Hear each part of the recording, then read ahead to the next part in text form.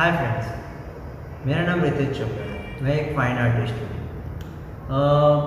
सबसे पहले मुझे इतने सारे वीडियोस पर लाइक्स एंड सब्सक्राइब करने के लिए थैंक यू सो मच मैं एवरी टाइम कुछ ना कुछ स्टील लाइफ लैंडस्केप और काफ़ी वीडियोस अपलोड कर रहा हूँ एंड जिससे बच्चों लोग को एंड न्यू कमर्स को स्टील लाइफ एंड लैंडस्केप करने में ईजी हो।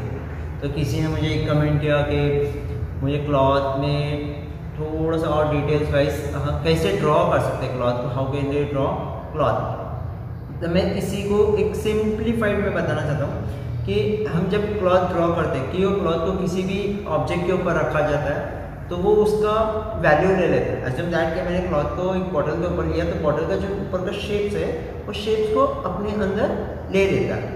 तो उसी तरह से मैं एवरीडम जो लाइट्स उस कपड़े के ऊपर गिरती है या जो कपड़े का टोन है, उसको ब्लैक एंड वाइट में किस तरीके से हम कन्वर्ट करके शेड कर सकते हैं।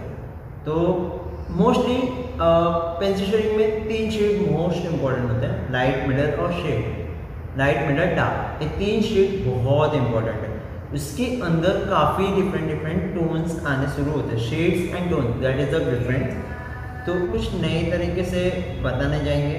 तो हम एक एक कपड़े को मैंने अपने स्टूडियो में अरेंज करके रखा हुआ है, जिससे हम उसको ड्रॉ किस तरीके से करना है वो दिखाते हैं। तो चलो हम स्टार्ट करते हैं।